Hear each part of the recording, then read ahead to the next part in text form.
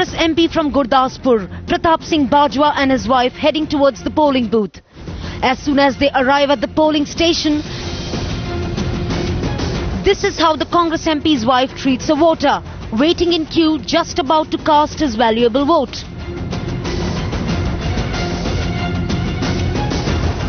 Look again as Pratap Singh Bajwa's wife holds the old man and moves him aside, only to pose for the cameras.